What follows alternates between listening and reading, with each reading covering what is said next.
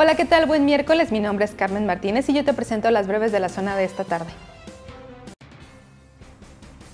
La jurisdicción sanitaria en Celaya sigue analizando los casos asintomáticos de COVID-19 que provocaron un brote en el asilo de ancianos. Así lo informó el secretario de Salud, Daniel Díaz Martínez, quien confirmó el deceso de tres adultos mayores.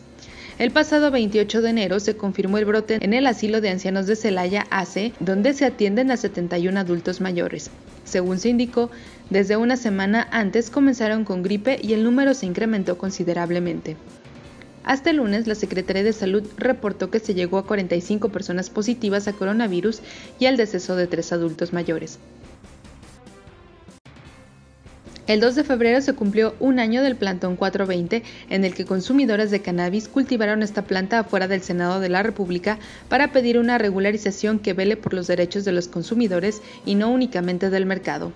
El coordinador de este plantón y del movimiento canábico mexicano, Pepe Rivera, junto a sus compañeros, señaló a través de un video en redes sociales que están en espera de que ahora la Cámara de Diputados discuta la ley federal para la regulación del cannabis aplazada hasta abril de este año. La escasez de agua es uno de los grandes problemas que aquejan al municipio de Guanajuato y sus comunidades. Son aquellas que más lo padecen. La falta de lluvias y el control que tienen las mineras sobre este líquido han hecho prácticamente imposible el abasto.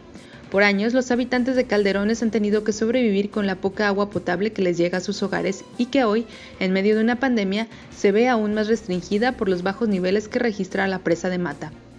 Pobladores de Calderones aclararon que la empresa minera Fresnillo, que opera la mina Las Torres, es la que durante años los ha apoyado con el abasto de este vital líquido.